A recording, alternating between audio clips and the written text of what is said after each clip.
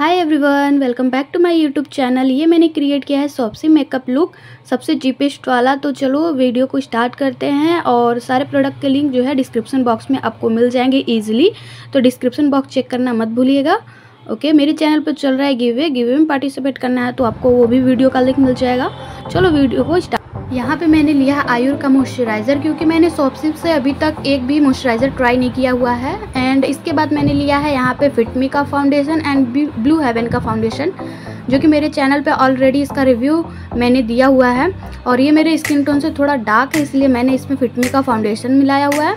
And मैं एक foundation brush की हेल्प इवनली अपने पूरे फेस पे स्प्रेड कर दूँगी।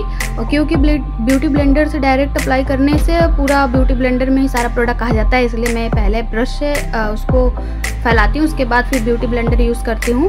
मैंने ब्यूटी ब्लेंडर को अच्छे से पानी में डिप कर लिया था एंड देन उसके बाद यूज़ कर रही हूँ। नेक पे लगाना मत भूलिएगा और अपने कानों को भी।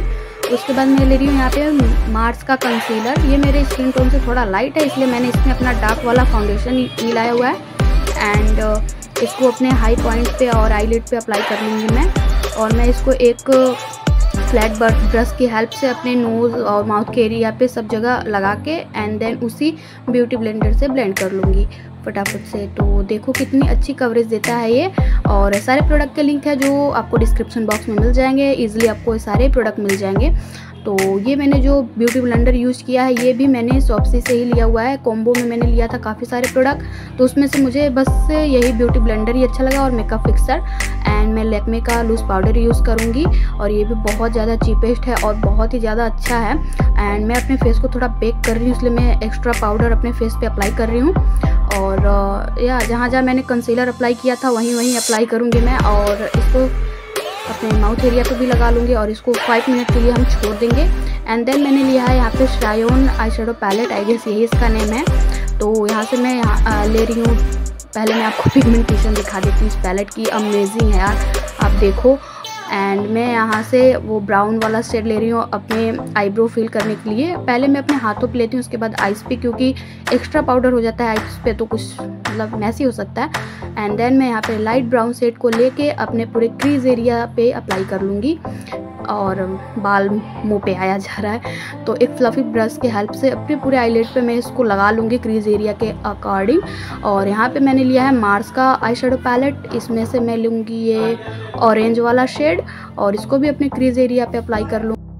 उसके बाद मैंने लिया है यहाँ पे मार्स का आई शेडो पैलेट इसमें से मैंने ये ऑरेंज सेट को लिया है। इसको भी अपने क्रीज एरिया पे ही अप्लाई करूँगी और फिर पूरे आईलिड पे।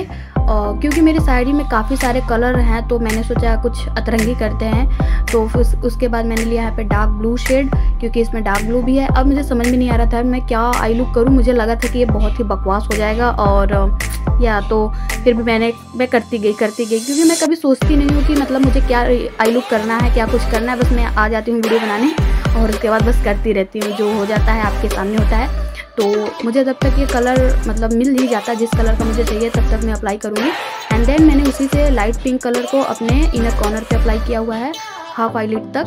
तो आप देखो, काफ़ी प्यारा आई लुक मतलब लग रहा है अभी तक तो साड़ी से मैचिंग मैचिंग सा लग रहा है। तो उसके बाद मैं यहाँ से ले रही हूँ ये सारा कलर जितना भी मैंने अपने आईलिड पे अप्लाई किया है सेम वही मैं अपने लोअर लेस लाइन पे भी अप्लाई कर लूँगी। एंड देन मेरा दोनों आई लुक कंप्लीट तो अभी कंप्लीट नहीं है, उसके बाद मैं यहाँ पे light pink purple I guess था तो इस सिमर को अपने और मतलब आईलिट पे अप्लाई करूँगी। इनर कॉर्नर से जहाँ तक मैंने पिंक आई शेडो अप्लाई किया, वहीं तक अप्लाई करूँगी। और ये पैलेट मुझे बहुत ज़्यादा अच्छा लगता है। तो आप भी यूज़ कर सकते हो, क्योंकि मुझे बहुत ज़्यादा अच्छा लगता है और काफ़ी ज़्यादा पिगमेंटेड है।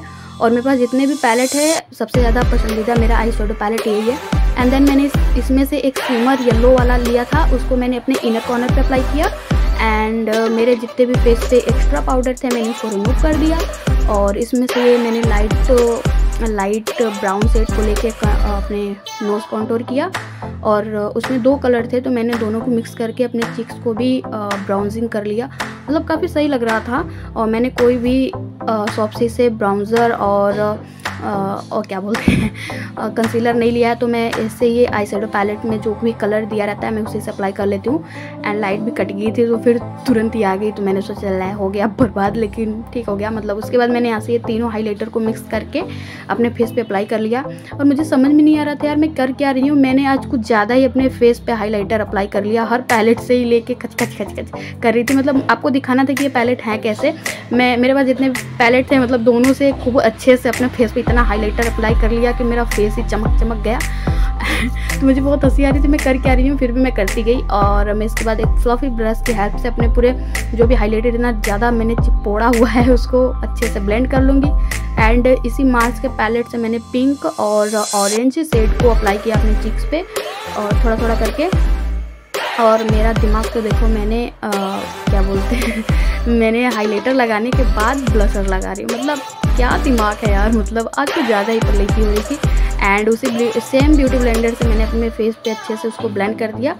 एंड मैंने यहाँ पे एक लिपस्टिक लिया हुआ है, थोड़ा न्यूड पिंक लिपस्टिक और उसके बाद वो थोड़ा डल लग रहा था कलर तो मैंने उसके ऊपर एक दूसरा लिपस्टिक अप्लाई कर लिया हल्का हल्का तो काफ़ी मस्त सेड बन गया था और ये रहा मेरा फाइनल लुक